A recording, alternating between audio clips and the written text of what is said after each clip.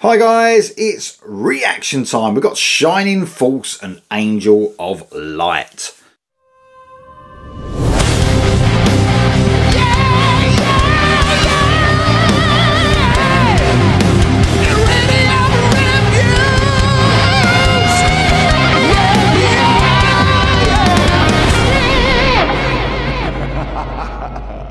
This was actually sent to me by the band. Um, this single isn't actually out yet. This is a Christian metal band from the US. Um, and this song actually features Tim Owens, Tim Ripper Owens, of course. Lends his voice to a few projects and albums and artists and stuff. As you know, I cover quite a bit of Christian metal on this channel. Actually got a t-shirt one of the albums of the year last year overall from a Christian metal band. So I do love a bit of Christian metal sometimes. I think a lot of great music comes out of the Christian metal scene and is often overlooked just because of the message, obviously.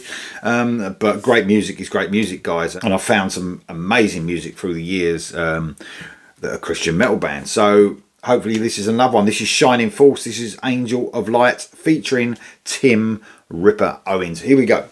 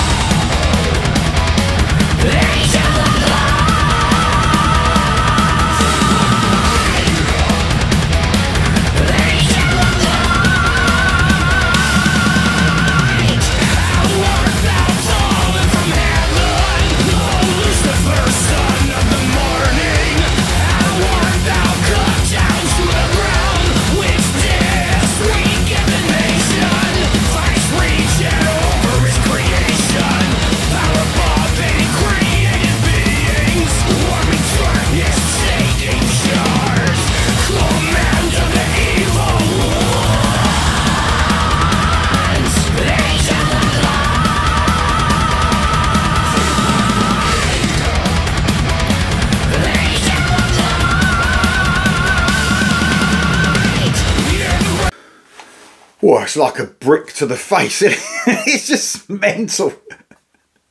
Ripper has turned his hand, you know, his voice to many like really heavy stuff in the past, obviously from Priest, um, particularly when he first joined the band. Uh, but man, that's that's heavy.